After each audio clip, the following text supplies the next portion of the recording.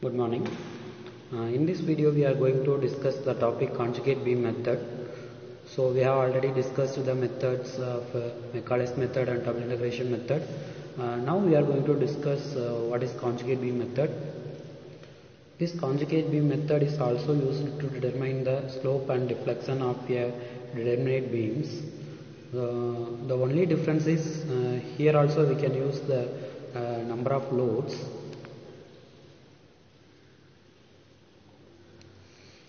First we are going to discuss what is meant by conjugate beam. Uh, the conjugate beam is nothing but uh, it is an imaginary beam but whose uh, length is equal to the original length of the beam and the loading value of this conjugate beam is equal to the m by e values of the original beam. Once we know the original beam's uh, length and what is the load acting on the structure, we have to easily find out uh, what is the bending moment of that particular beam. Uh, after knowing the value of bending moment, when we are uh, using the relation m by EA, actual bending moment divided by the flexural rigidity, we can get the loading value of the conjugate beam.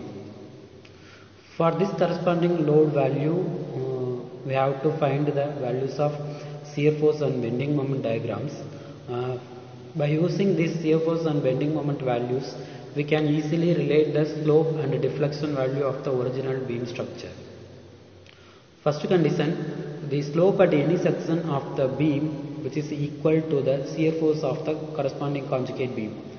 If we are going to find out the shear force of a conjugate beam, then the, the value of the shear force is equal to the slope of the original beam structure.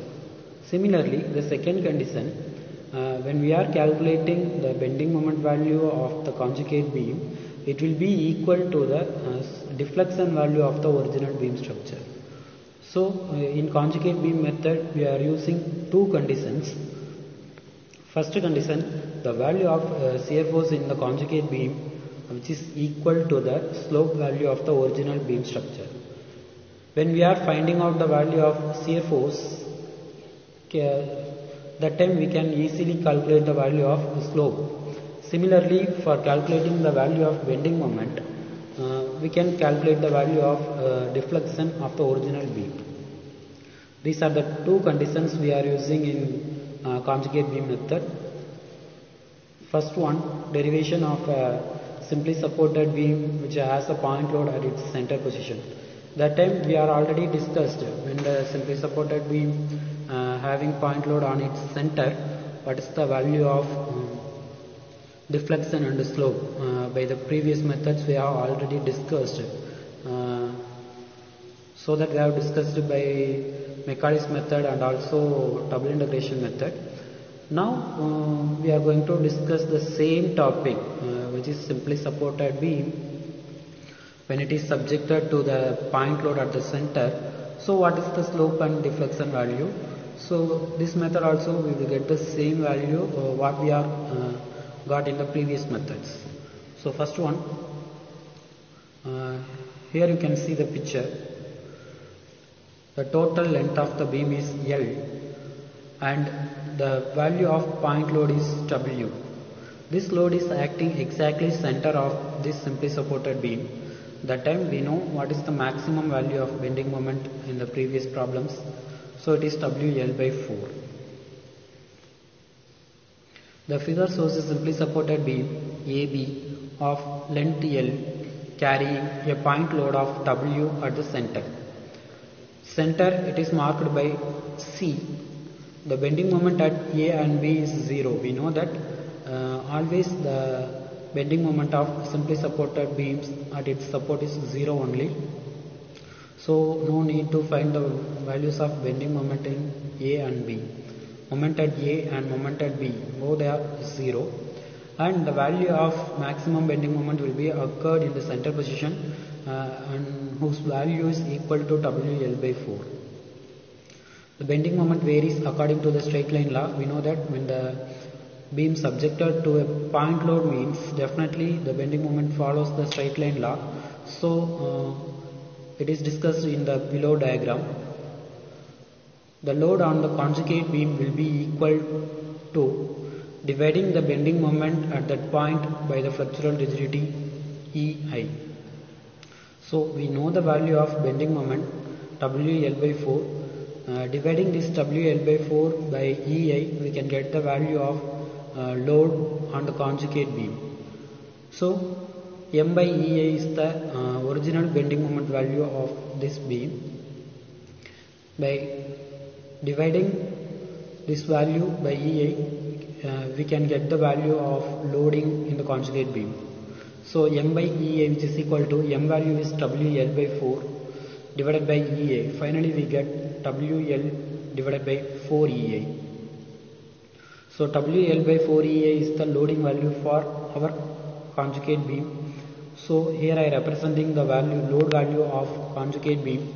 At the mid portion its value is WL divided by 4 EA. By calculating the support reaction we know that it is a simply supported beam and it carries a central point load. So half of the load is uh, transferred to one support and remaining half of the support uh, load is transferred to the another support. Uh, by this concept we can directly write reaction at A star. The beam's original reaction is given by the letter RA and the conjugate beam's reaction is given by the letter RA star. Just we are dif uh, differentiating the values for that we have to use uh, for original beam it is RA and for conjugate beam its value is RA star. So total load value is WL divided by 4 EI. Uh, half of the value of this is equal to RA star is equal to WL square divided by 16 EI. Similarly RB star which is equal to WL square divided by 16 EI. We can get this value by taking moment at any one of the support uh, either uh, taking moment at A or taking moment at B we can calculate the uh, RA dash and RB star values where RA star is the reaction of support A in conjugate beam and similarly RB star is the reaction of support at B in conjugate beam. So here we have to calculate the load on the conjugate beam the load on the conjugate beam which is equal to the area of the bending moment diagram. Already we have the bending moment diagram whose area is equal to the load diagram. So area of the load diagram which is equal to half into breadth into height. Here half into total uh, breadth is AB and height is C star D star. Half into total length L into C star D star we know the loading value WL divided by 4EI. By multiplying this term, we can get the total load on the conjugate beam and which is equal to WL square divided by 8EI. Reaction at each support for the conjugate beam will be half of the total load. So total load we have calculated as WL square divided by 8EI. Uh, half of this value will be transferred to both RA and RB. So RA star which is equal to Therefore, the values of reaction at, and, uh, at uh, A and B is equal to half of the values of the load. So, here the load value is found out by WL square divided by 8EA. Uh, therefore, RA star is equal to RB star which is equal to WL square divided by 16EA. In order to find the value of the slope and the deflection of the original beam, we have to calculate the shear force and bending moment value of this particular uh, conjugate beam.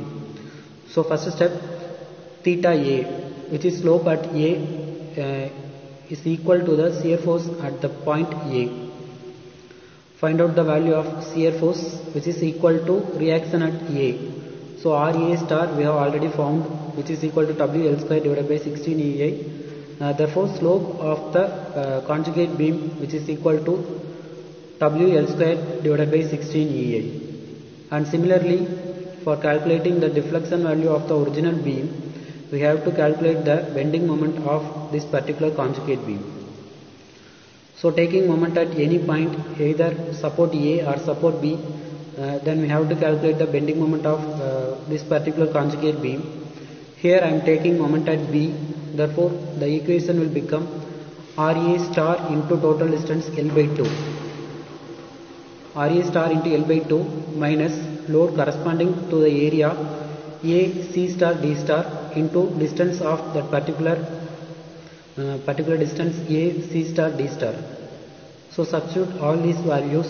RA value is WL square divided by 16 EI into L by 2, distance L by 2 minus load corresponding to A, C, C star, D star which is equal to half into breadth into height.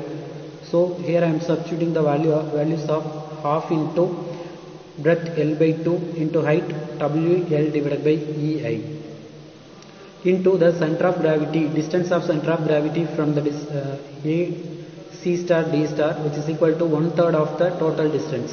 So here the total distance is L by 2 multiplying it by one third distance we can get the value of uh, deflection as 2WL cube divided by 96 EI. By simplifying we can get the value of deflection as WL cube divided by 48 EI.